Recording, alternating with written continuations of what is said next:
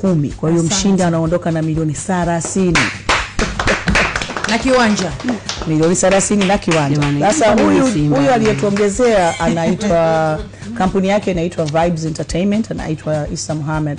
Ni mtu ambaye ameingia kwenye tasnia ya kupromote wasanii mm. na um, ameguswa na tunachokifanya na talent zilizopo. Nafikiri ndio maana akaamua uh, kututumia kitita katuma kabisa kitita. Kipo kinasubiri mshindi. Hebu nionyeshe hapo. Okay. na kuonyeshe kwa kipo tayari? Eh milioni 30 na kiwanja ishafika. Nyingine ile thelathini naweza kaa bosi hajawasilisha, lakini huyu huyu huyu mdau kashawasilisha. hiyo milioni yake kumi. Aha. Ah, okay. Kwa- Kwa hiyo uh, tunaiongea hii leo kwanza kabisa hapa. Extra. Ya 30, ya 10 million leo Ehe, hii exclusive. Kwa hiyo wengine wakichukua watakuwa wamesikia kwa hapa.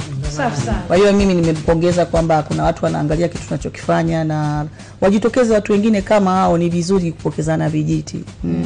Ndio.